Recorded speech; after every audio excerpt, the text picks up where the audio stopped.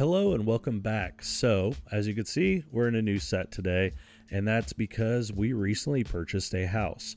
So, I have been away for a couple of weeks, waiting for sports to get back into session, and today we are going to jump into the new sports season by talking about what is in my camera bag. So, not a lot is changing this year. I do see some changes coming to the bag later in the year, possibly. Um, that depends on how gear goes and selling and stuff. But I will be using the Canon 300 2.8 that I have right here. So, as you know, this is an EF lens that I adapt to the Canon R6 solid lens.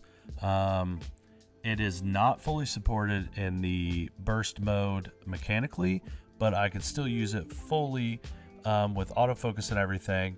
The only difference is um, if I go to electronic, I do get the full shutter speed, but it will give you some of that rolling shutter, so you got to be careful with that. But super solid lens with football coming up and now soccer added to the college, this will be my go to.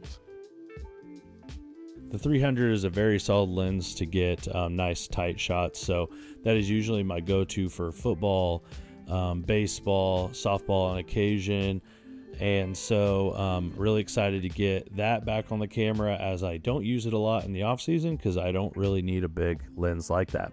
Then we go to the 70 200.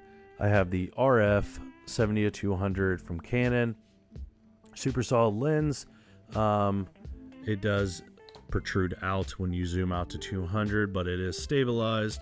Um, it's a very small package, so with the lens hood off, it makes packing very, very easy. So it's always in the bag now that it's um, not super big, and so it's a super fast lens, very sharp.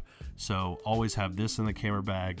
And then we get to my third lens, and that is the Canon 24 to 70 f2.8.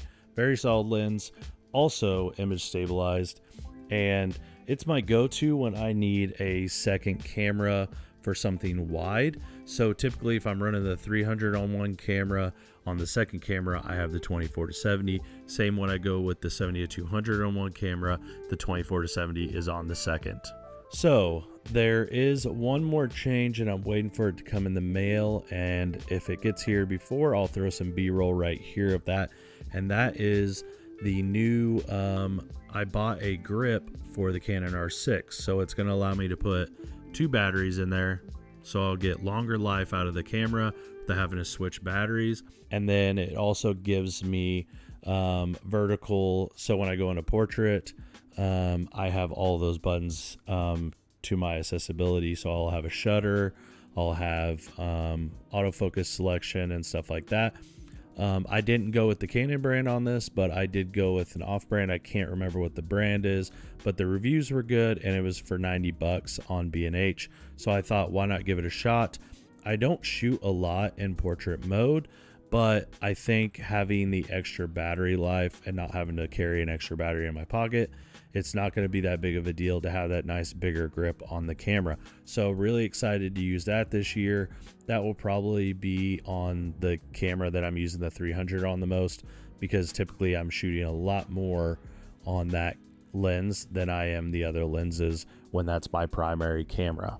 So with that said, I hope you like this new set. Uh, still working it out. Got a new video light that's a little more um, video driven, not just some LED panel that I'm trying to fuse with um, an umbrella or something. So got a proper light now once I get that figured out and where I want all the lighting and stuff and getting my desk set up.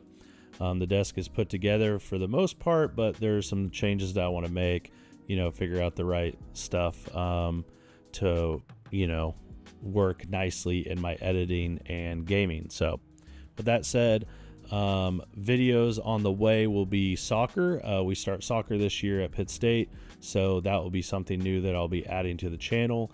Um, my experience shooting soccer, I've only done it like two or three times in high school back when I was shooting for the newspaper. And then we also have golf, but I'm not sure we're going to have any home meets, so not sure if I'm going to get any chances to cover golf.